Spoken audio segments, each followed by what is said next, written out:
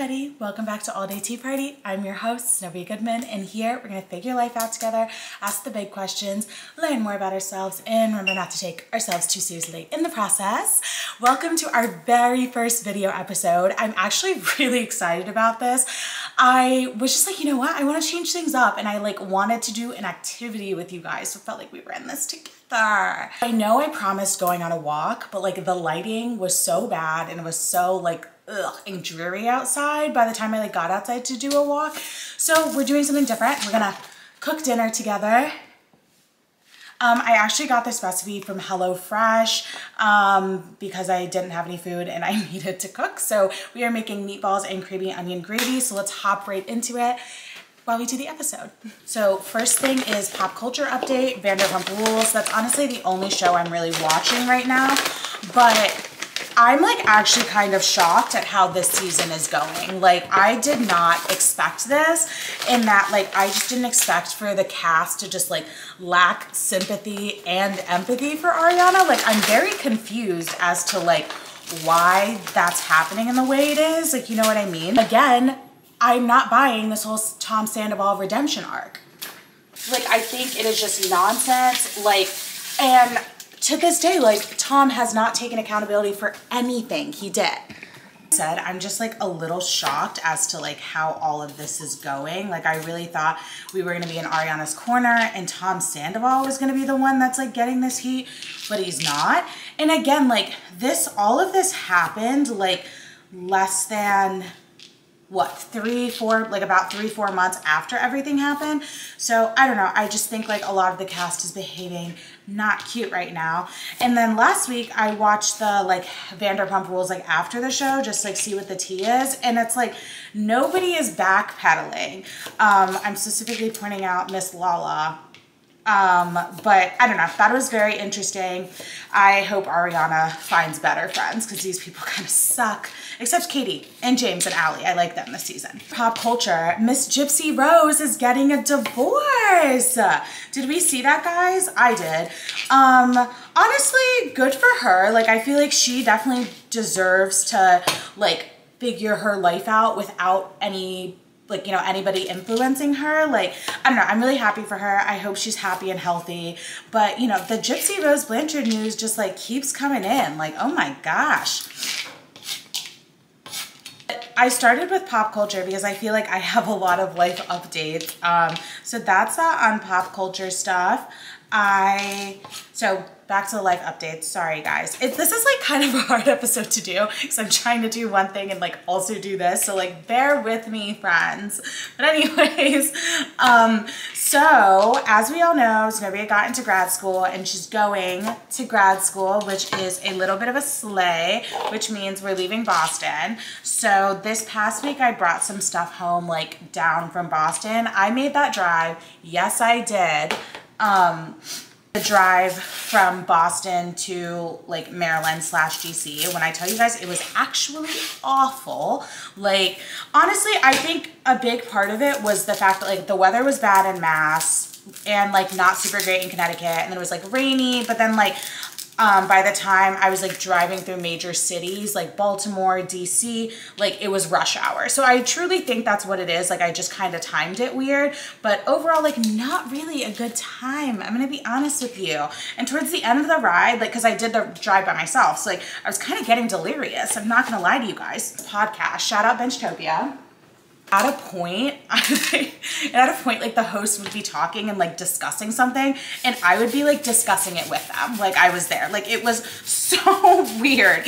Like I was, it was, like I said, I was losing my marbles by the time I got here. Like I was talking to the podcast host like having weird parasocial conversations with them.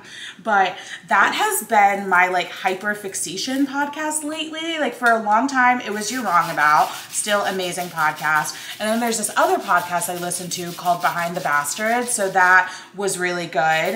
Um, I I really like podcasts that have like longer series, and Behind the Bastards did have like a good amount of those. And now it's Benchtopia.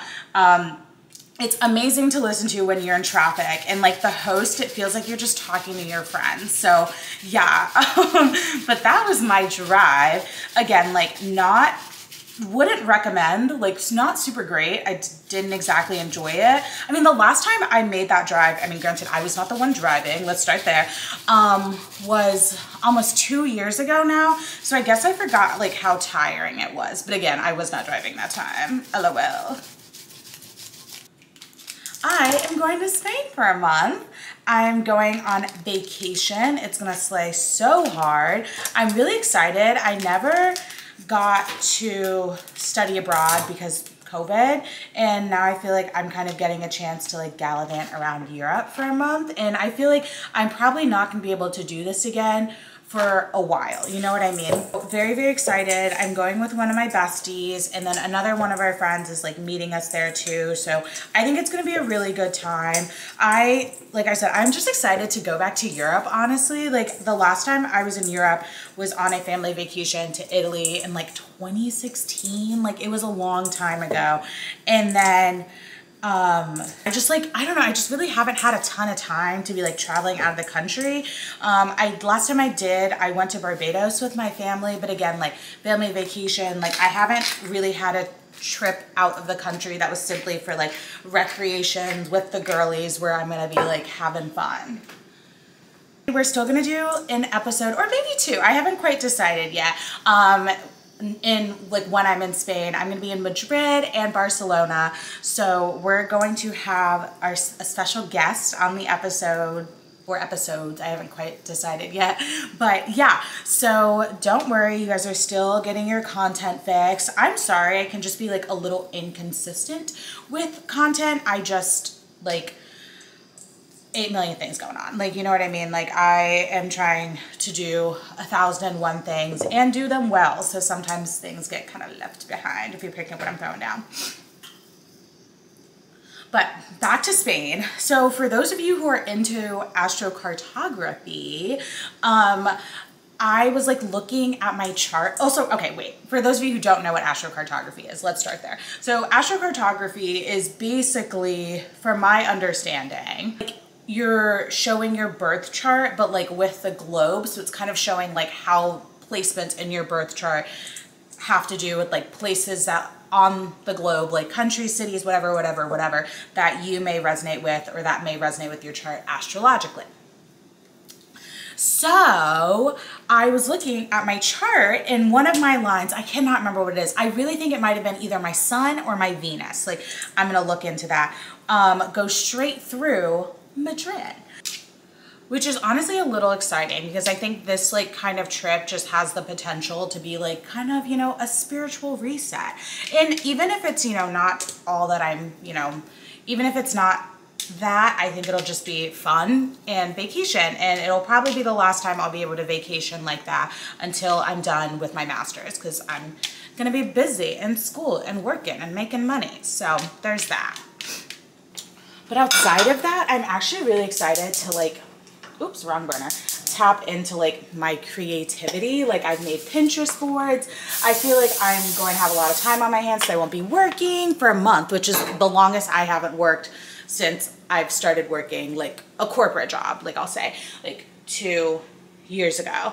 Um, so I plan on bringing my coloring books, my books. One of the families of like the kids I babysit for, the mom got me like a journal, which I thought was like really sweet. And you know, just to kind of write down my thoughts and I kind of want to journal every single day and I have my cheeky little digital camera so maybe we'll do a scrapbooking moment. That's like weirdly something I've always wanted to do but I feel like I haven't done it. And I've definitely mentioned this on the pod before, but I feel like a lot of the times I'm really into like making content or like doing the podcast or like doing like digital or like Canvas or like vision boards, sorry, Pinterest boards, stuff like that. I'm very into doing like digital creativity like activities, but um, not as much like physical creativity. So I feel like a scrapbook or like coloring and stuff like that would honestly like be very good for me.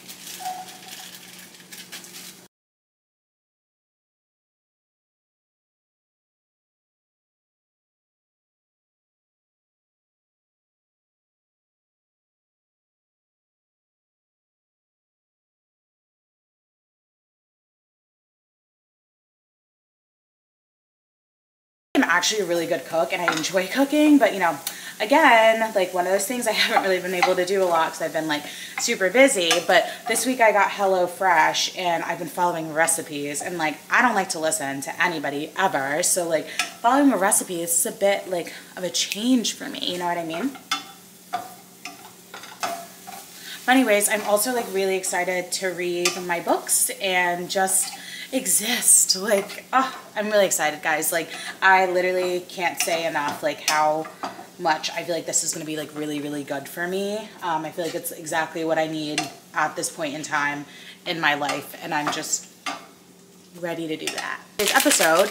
So, today's episode is the fact that I'm addicted to my phone, guys. Like, there we go. Genuinely, like I realized like the other day when like I was, it's just like hard because as like a pseudo content creator, I'm usually always on my phone and then um, have to set boundaries like with myself, like regarding um, like how much I need to be on my phone. But again, like it's just so easy to like scroll on TikTok and like Guys, when I tell you, I feel like my brain is literally rotting. Like, and sometimes like it's just hard when you're consuming so much content like creatively to be like okay like what are we gonna talk about like on the pod this because it's like i'm seeing so much stuff and it's like okay well i feel like everybody's already talked about that and i feel like in a way like this weird phone addiction i guess you could call it is like stunts my own like creativity in a way like you know what i mean and like I don't like that feeling. I like to come up with like original ideas and like that is like very important to me. So again, it's like that whole like oh my god. It's that whole like setting boundaries moment like when it comes to my phone, which is harder to do than I realized. And like I said, like it's super easy for me like to start feeling like my brain is mush and I really don't like that feeling. So something that I wish to incorporate is I want to like do no social media after like 9 30, 10 or before 9 30, 10 in the morning. I feel like that's just a way to like get that content time down. I mean, I've tried doing that before, but like I just I have not been disciplined in it. Let's put it that way. Like I just kind of, I flop, I just, I flap. And which is okay, but you know, I just kind of need to like actually really hold myself accountable um, when it comes to that kind of stuff because, ah! No, no, no, no. Back to what I was saying before we were rudely interrupted. Um, it's just like, I really want to get into the idea of just like analyzing media on my own, like let's bring back analysis. Like, you know, like deciding what I think about something before looking up what people on TikTok think about it. You know what I mean? Um, and just kind of, and I mean, granted, like I am an autonomous person, like I'm very opinionated. I have my own opinions about a lot of things, but it's like, you know, sometimes I don't need to fact check with TikTok. Like, you know what I mean? Even like little things like, you know, do I want to go to this restaurant? Maybe I can just figure it out myself. Like, you know, so especially like videos about like TV and like music and movies, just like media in that sense, like just um, being able to be like, mm, I'm gonna form my own opinion before seeing what the TikTok brigade, brigade, ugh, what the TikTok brigade has to say. And like my final point about like the phone thing is I feel like it's really easy, especially for me. And like, let me know if you relate to this as well. Like it's super easy for me to be like, oh, like, let me go on my phone. It's like instant gratification. Like, you know what I mean? Rather than like, you know, even if I really want to like read my book or something, I'll be like, oh, I'll go on my phone. Like it's just instantly I will get like whatever stimuli it is that I'm looking for. Um, when in reality, like I could pro I'll probably like it more if I just read my cheeky little book. And honestly, like staring at your phone so long is like really bad for your eyes. Like genuinely, like I have to wear like my blue light glasses basically all the time. Either like my actual glasses or my blue light glasses like all the time. Like if I'm driving at night, I have to wear them because like the flash and like if I'm using my phone or even watching TV, I have to wear them. And this is a new development like within the last like six months or so. And at first I thought I was being dramatic, but like genuinely my eyes will start to hurt if I am not wearing them. So again, the effects of being addicted to your phone. Because I definitely think like it is a problem and I do want to make going on my phone less a habit and I feel like I say that a lot like I've been saying that for like ever you know what I mean? But I'm actually like ready to apply myself because like it's affecting my eyesight my concentration is absolute garbage and I just don't think it's as good for me as it used to be. My dishes right now but like I said like I feel like phone and like um, just being on my phone a lot has kind of just like fried my brain. And I feel like something that I think we're missing as a society is like media literacy.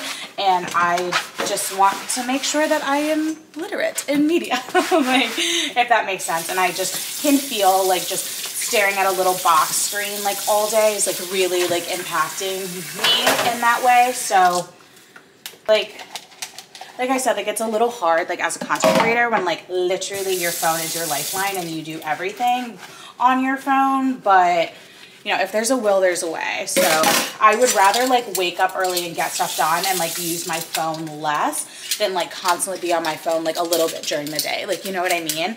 So that's kind of where I'm at with that like everything's all done we're gonna plate honestly guys i really like HelloFresh like i feel like it is a it's like an exposure therapy lesson for like my control issues and it like forces me to be like okay like we're gonna listen to somebody else and like the food's gonna taste good and it usually does. So like it makes me really happy to like feel like I'm relinquishing some control in a way. Like I can rely on HelloFresh. You feel me?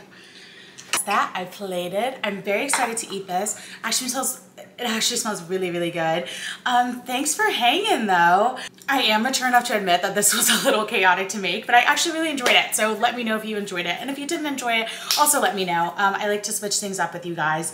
But yeah, like really, really excited. Happy to be here. I will be doing more blogs. I promise. I need to like just discipline guys discipline because i need to just be like okay this is what i'm doing i said i was doing this this is what i'm doing um I need to just like start doing the content things I say I'm gonna do because if I was anybody else, I'd be like, girl, you said you were gonna do this. So I need to keep myself on track. That's what I need to do. Um, but that's that. Thank you for hanging again. Um, this was lovely. This was fun. I'm gonna go eat and watch Vanderpump Rules. Um, again, don't forget to spill tea all day, learn more about yourself, ask the big questions, and remember not to take yourself too seriously in the process. I'll see y'all in Spain. Bye.